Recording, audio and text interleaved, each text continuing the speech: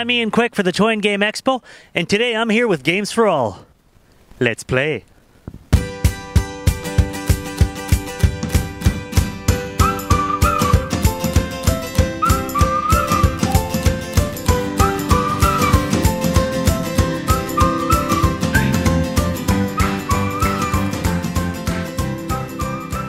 This is my good friend Amy from GamesForAll.ca.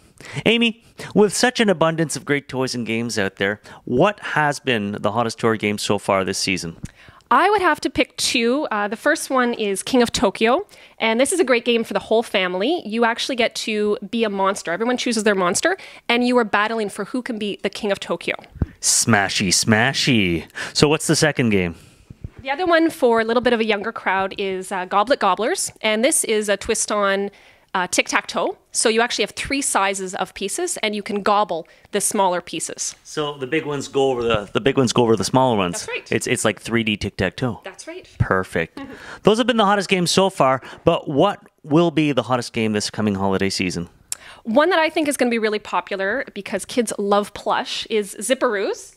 And what's great about these little guys is they're plush, which kids loves, and they also carry the game in their back. So it's a great travel game. Kids carry their plush, and when they're ready to play, they've got a game. They're so cute. Amy, Yes.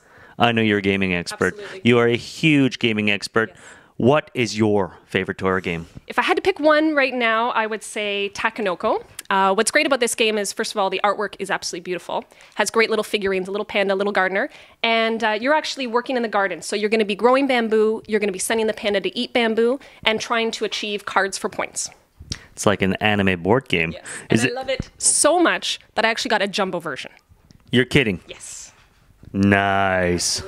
Well, thank you so very much, Amy. This is Ian Quick for the Toy and Game Expo. Can't wait to see you there.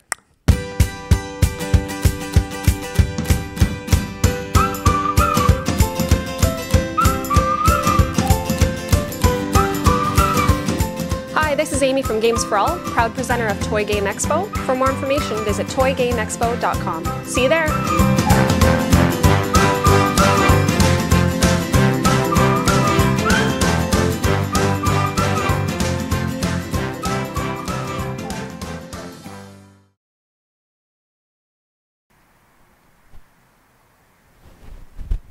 King, it's been a half hour. It's your move.